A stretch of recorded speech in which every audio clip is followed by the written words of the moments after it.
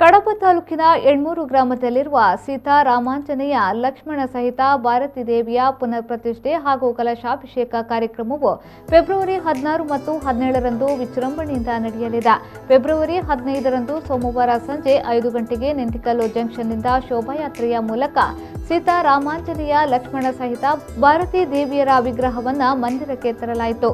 ಈ ಸಂದರ್ಭ ಚಂಡೆ ವಾದ್ಯ ಜೈಕಾರಗಳು ಮೈ ನವಿರೇಳಿಸುತ್ತಿತ್ತು ಭಕ್ತರಿಂದ ಹಸಿರು ಹೊರೆ ಕಾಣಿಕೆಗಳು ಹರಿದು ಬಂತು. ಈ ಸಂದರ್ಭ ರಾಮಕೃಷ್ಣ ರೈ ಕಟ್ಟಬೀಡು ಪಿಜಿಎಸ್ಎನ್ ಪ್ರಸಾದ್, ರಘುನಾಥ್ ರೈ ಅಲೆಂಗಾರ್, ಸುದೀನ್ ಕುಮಾರ್ ರೈ ಎಣ್ಮೂರು ಗುತ್ತು ಹಾಗೂ ಹಲವಾರು ಭಕ್ತರು ಭಾಗವಹಿಸಿದ್ರು.